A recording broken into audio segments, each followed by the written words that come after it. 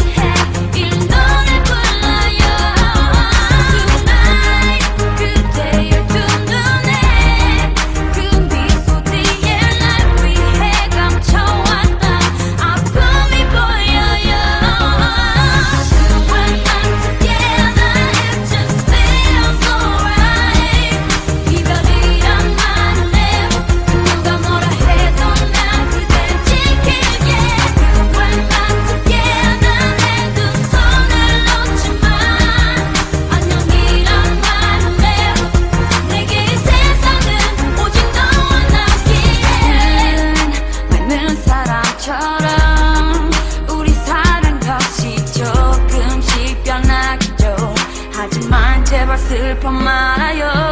오랜 친한 친구처럼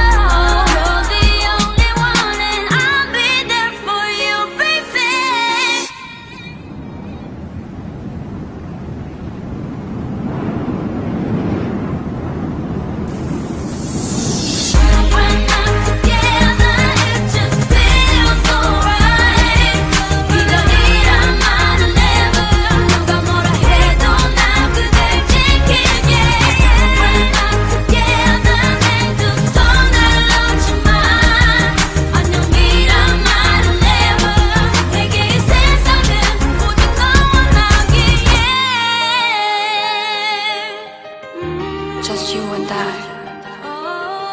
Forever and ever.